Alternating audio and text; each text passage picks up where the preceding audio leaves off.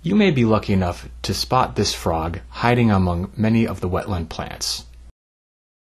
However, you might have more luck spotting them at night when they are most active. From March to June, you may even notice the egg masses made up of more than 4,000 eggs. The tadpoles that hatch from the eggs rely on algae and insect larvae to help them grow into adult frogs by late spring or early summer.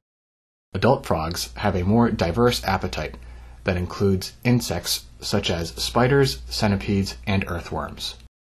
Southern leopard frogs are the prey for other species including raccoons, opossums, large fish, snakes, turtles, and birds.